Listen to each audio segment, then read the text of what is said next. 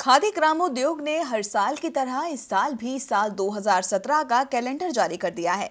लेकिन इस बार कैलेंडर में कुछ ऐसा किया गया है जो किसी के गले नहीं उतर रहा। दरअसल खादी ग्रामोद्योग हर साल अपना कैलेंडर जारी करता है, जिसमें राष्ट्रपिता महात्मा गांधी की तस्वीर होती है। लेकिन इस बार गांधी जी की तस्वीर गायब है और उनकी जगह पीएम नरेंद्र मोदी की तस्वीर कैलेंडर में चस्पा है। कैलेंडर में पीएम मोदी चरखा चलाते हुए दिखाई दे रहे हैं। इस तस्वीर पर अब विवाद खड़ा हो गया है। शिवसेना समेत कई विपक्षी दलों ने इसकी निंदा की है, क्योंकि खादी ग्राम उद्योग के कैलेंडर का इतिहास बताता है कि अब तक इसके कैलेंडर में राष्ट्रपिता महात्मा गांधी की तस्वीर रहती ही थी, जो चरखा चलाते और सूत काटते हुए दिखाई पड़ते थे। लेकिन इस बार कैलेंडर पर पीएम नरेंद्र मोदी की तस्वीर दिखाई पड़ रही है।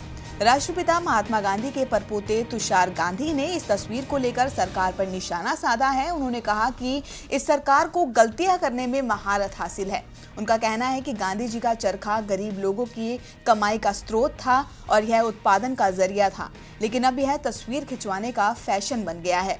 वहीं दिल्ली के सीएम अरविंद केजरीवाल ने भी ट्वीट कर मोदी सरकार पर तंज कसते हुए कहा, गांधी बनने के लिए कई जन्मों की तपस्या करनी पड़ती है। चरखा काटने की एक्टिंग करने से कोई गांधी नहीं बन जाता, बल्कि उपहास का पात्र बनता है। वह इन सब के बीच ग्रामोद्योग के चेयरमैन विनय कुमार सक्सेना का कहना है कि यह कोई नई बात नहीं है, क्योंकि ऐसा पहले भी होता रहा है।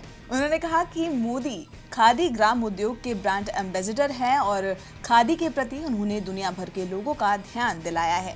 तो अब खादी ग्राम उद्योग के कैलेंडर में पीएम मोदी की तस्वीर को लेकर विवाद शुरू हो गया है। आरोप प्रत्यारोप का दौर जारी है। ऐसे में देखना होगा कि यह विवाद अब क्या मोड़ लेगा। देखते रहिए डीबी लाइव।